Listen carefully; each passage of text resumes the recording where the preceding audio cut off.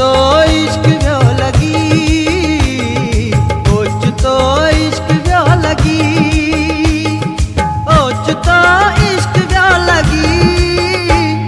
प्यो न को पतो मुखे